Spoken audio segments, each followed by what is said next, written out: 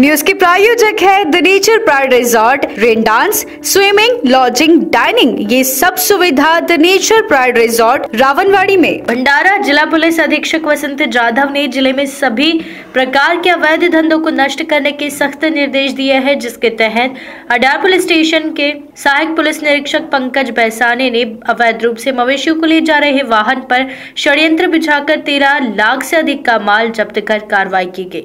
एक सितंबर, अडार police station के थानेदार एपीआई सुशांत पाटिल को मिली जानकारी के आधार पर दल रवाना किया गया। पुलिस स्टेशन के सामने डामरी रोड पर आरोपी छह चक्का ट्रक क्रमांक यूपी अस्सी ईटी अठहत्तर इकसठ कीमत 12 लाख रुपए, जिसमें क्रूरता से 24 नग गौवंश, जिसकी कीमत एक लाख बयानबे हज़ार रूपए आकी गई है, यह भरकर ले जा रहे थे।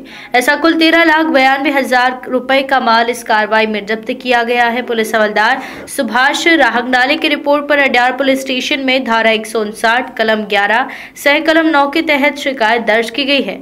आगे की जाँच पुलिस निरीक्षक सोड़के कर रहे हैं। उपरोक्त सभी मवेशियों को सुरक्षित रूप से पिंपल गाँव के अन्नपूर्णा गौरक्षण संस्था में भेजा गया है। यह कार्रवाई जिला पुलिस अधीक्षक वसंत जाधव, अपर पुलिस अधीक्षक अनिकेत भारती के मार्गदर्शन में अड्यार पुलिस स्टेशन के थानेदार एपीआई सुशांत पाटिल, उप निरीक्षक सोड़के व पुलिस हवलदार सुभाष रंगडाले ने की है। आपके अपने channel B S crime India news की खबर सबसे पहले देखने के लिए चैनल को सब्सक्राइब कर बेल आइकन दबाना ना भूलें।